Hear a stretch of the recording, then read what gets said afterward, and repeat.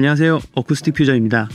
오늘은 지난 영상에서 예고해드린 뮤지텍 스튜디오의 메인 편집실 room acoustic tuning 영상을 소개해드립니다.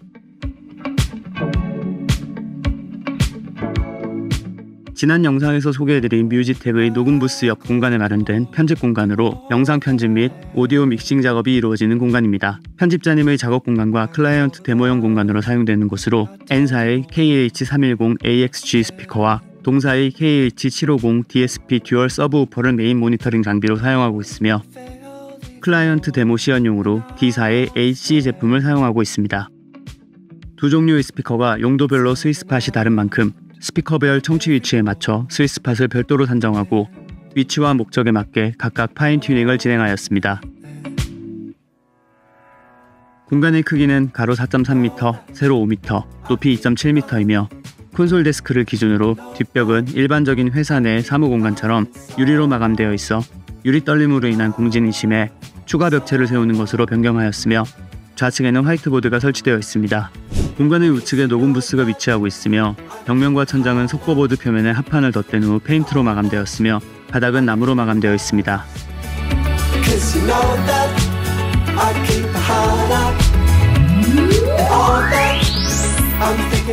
룸 어쿠스틱 튜닝을 진행하기 전 사전 측정을 먼저 진행합니다.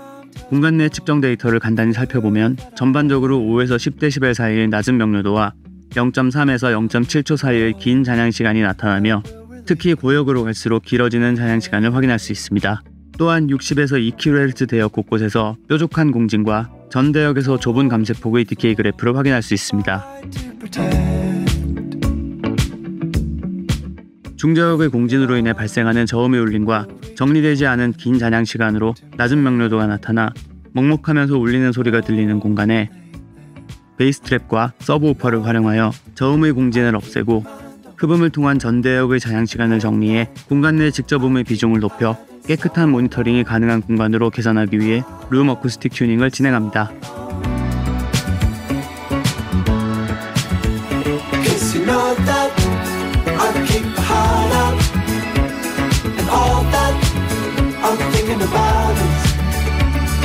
know that I keep my heart up And all that I'm thinking about it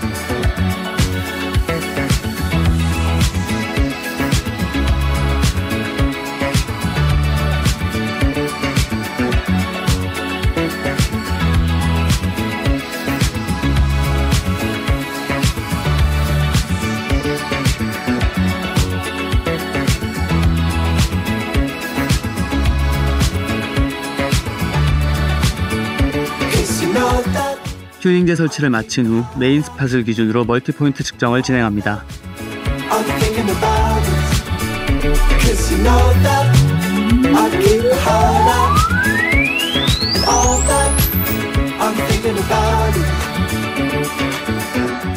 tuning 전후 측정 데이터를 확인해 보겠습니다. subwoofer를 제외하고 스피커의 응답만 측정한 데이터입니다. 먼저 명료도 데이터를 확인해 보겠습니다. 붉은색이 튜닝 전, 파란색이 튜닝 후, 초록색이 EQ 보정까지 마친 후의 데이터입니다. 튜닝 전 전체적으로 5에서 10dB 사이의 모니터링 스튜디오로서는 낮은 명료도를 보이고 있습니다. 공간 내 반사음이 제어되지 않아 직접 음의 비중이 낮은 상태입니다. 튜닝 후 전체적인 명료도가 15에서 20dB 사이로 개선되었으며 특히 300Hz 이상 대역에서 눈에 띄는 개선이 나타나고 있습니다. 200Hz 이하 대역에서 명료도가 낮게 나타나는 부분은 EQ 보정을 통해 개선하여 전반적인 그래프의 균형이 개선되었습니다. 100Hz 아래 대역에서 낮은 응답을 보이는 부분은 dual subwoofer로 보완하여 실 사용 시 문제가 없는 환경으로 완성하였습니다.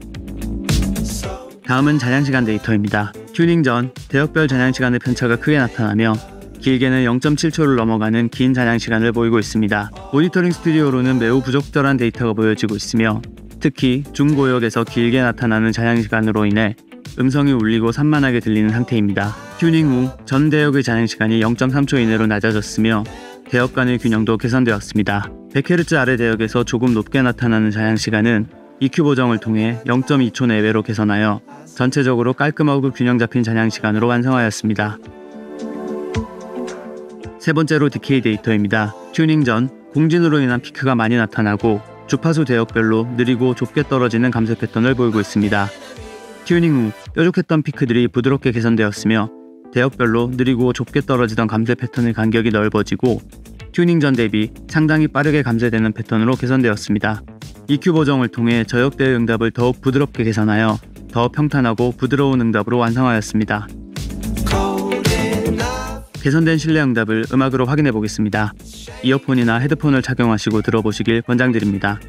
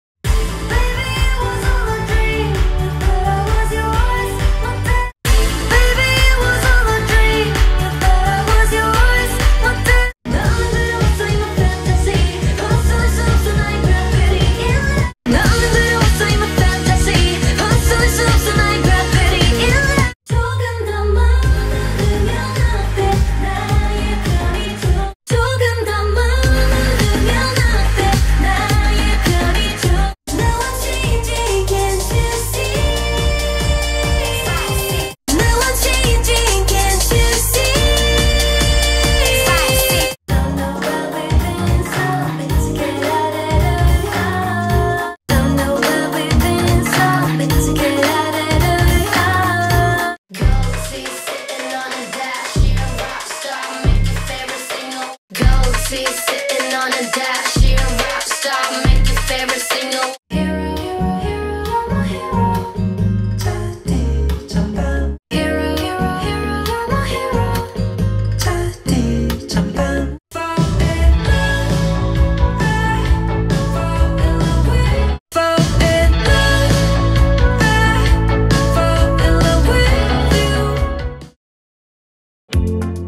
마지막으로 공간의 도면과 함께 사용된 튜닝재들을 확인해 보겠습니다.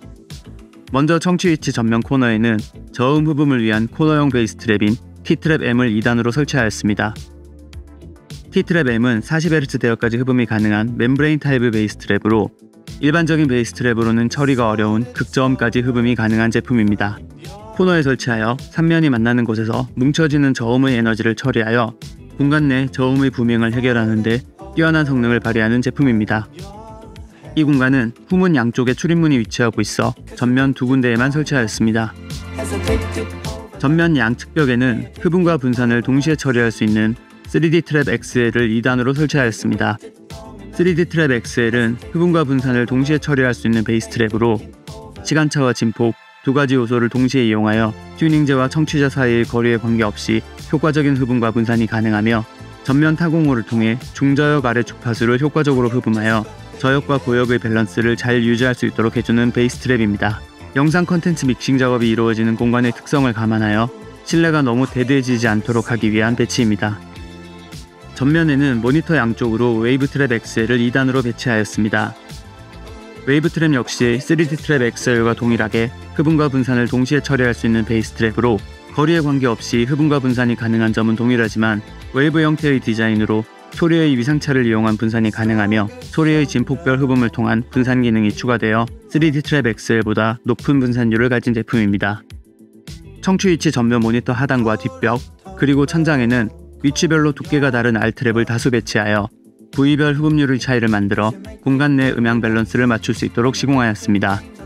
알트랩은 두께에 따라 흡음률을 다르게 조절할 수 있으며 두꺼워질수록 더 높은 흡음률을 가집니다. 천장에는 25cm, 앞뒤 벽면에는 15cm 두께로 설치하여 천장 반사음은 더 흡음하고 앞뒤 반사음은 적정한 선에서 흡음하며 공간의 활용성을 해치지 않도록 하였습니다. 또한 알트랩은 전면 슬릿을 통해 소리의 진폭별 흡음을 통한 분산이 가능하여 작은 크기와 가벼운 무게로 차지하는 공간 대비 최고의 효율을 내는 제품입니다.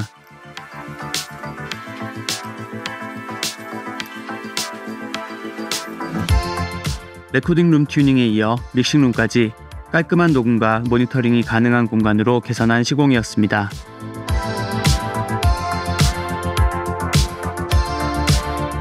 앞으로도 다양한 환경과 현장에서 최상의 실내 음향을 만들어갈 수 있도록 노력하는 브랜드가 되겠습니다. 영상 시청해주셔서 감사합니다. 지금까지 room acoustic 튜닝 전문 브랜드 어쿠스틱 퓨저였습니다.